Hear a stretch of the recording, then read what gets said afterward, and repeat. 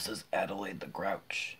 She resides inside the black wall of the Fix-It shop.